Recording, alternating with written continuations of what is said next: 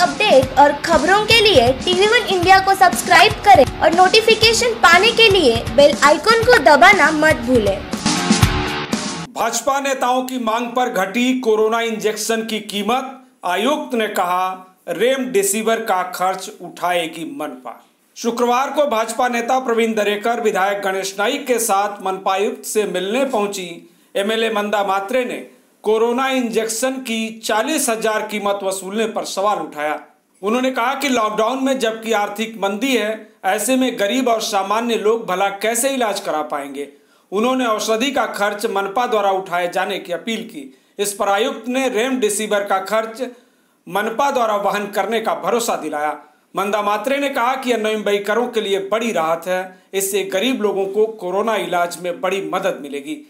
विधायक ने कहा कि कोरोना नियंत्रण के लिए आयुक्त अच्छा कार्य कर रहे हैं, इसलिए हमें उनका प्रोत्साहन करना चाहिए। जो दो तीन महीने से कोरोना जो चालू है, तभी से हम लोग यहाँ काम कर रहे हैं। ऐसे नहीं है कि आज विरोधी पक्ष नेता दरेकत साहब आए हैं और हम आए हैं। हॉस्पिटल में क्या है, वेंटिलेटर है कि नहीं, एंबुलेंस है कि नहीं, उसके लिए भी एक करोड़ का फंड हमने दिया है। और जो ये कोरोना में जो बेचारे मजदूर सफ़र कर रहे थे बाहर गाँव जाने के लिए, घर जाने के लिए, उनके लिए भी काफ़ी हम लोग ने हेल्प की है। आज विरोधी पक्ष नेता ने आके हमारे जो काफ़ी मुद्दे थे, हमने कहा कि आज ये जो दो तीन हॉस्पिटल है, ये कोरोना के लिए तभी कोई मुश्किल थी, अपने पास हॉस्पिटल अवेलेबल नहीं था वेंटिलेटर के साथ, इसलिए वाशिका किया गया। अभी अपना धीरे धीरे हॉस्पिटल बन रहा है तो ये तीनों हॉस्पिटल को मुक्त करा के रेगुलाइज जो पेशेंट है, उनके लिए करो। वो कमिश्नर ने आज डिमांड मांग ली है।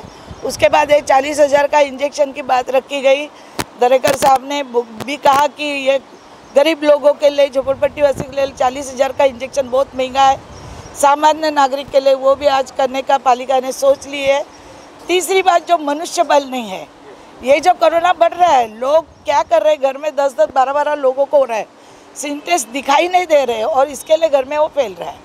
अभी पालिका आयुक्त तो कोई जादूगर तो है नहीं कि जादू की कांडी घुमाएगा और तुरंत कोरोना को रोकेगा। वर्ल्ड में कोरोना फैल चुका है वर्ल्ड में।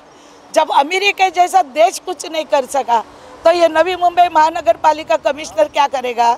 मनुष्य बल नहीं है, डॉक्टर नहीं है, सिस्टर नहीं है, जो वेंटिलेटर चाहिए वो नहीं है। बहुत सारी चीज़ की कमतरता है। कभी लगा नहीं था कि कोरोना जैसा रोग आएगा पहला होगा और हमको ये सब करनी पड़ेगी। आज वो कर रहे हैं, अपनी कोशिश। दो महीने में एक कमिश्नर एक हॉस्पिटल को खड़ा कर रहा है। हाँ बारह सौ, पंद्रह सौ बेड का, ये क्या कम चीज़ है क्या? हम उसको प्रोत्साहन देना चाहिए, हम उसकी ताकत बन के उसके सामने खड़ा रहना चाहिए, या हमने उसकी बदली करनी चाहिए, या हमने उसको गाली देना चाहिए। हम उसके लिए आज उसकी ताकत बन के खड़े रहेंगे।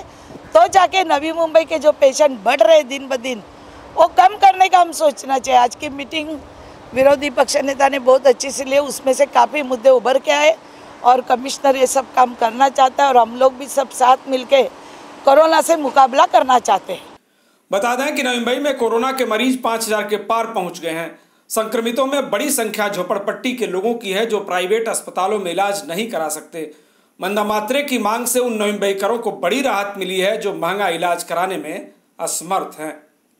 Bureau report TV one India.